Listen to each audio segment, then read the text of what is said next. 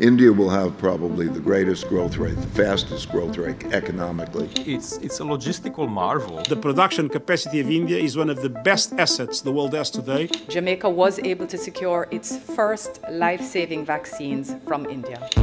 This is one of the bright spots in the global economy right now, such a high growth rate. 21st century is going to be the Indian century. India, the world's fastest growing major economy. Yeah, hi. Um, so yeah, so I'm Nithin. I'm founder and CEO of Zerodha. Okay, I'm Sudha Murthy. I'm an author. I'm Vibha Dhawan, Director General of TERI.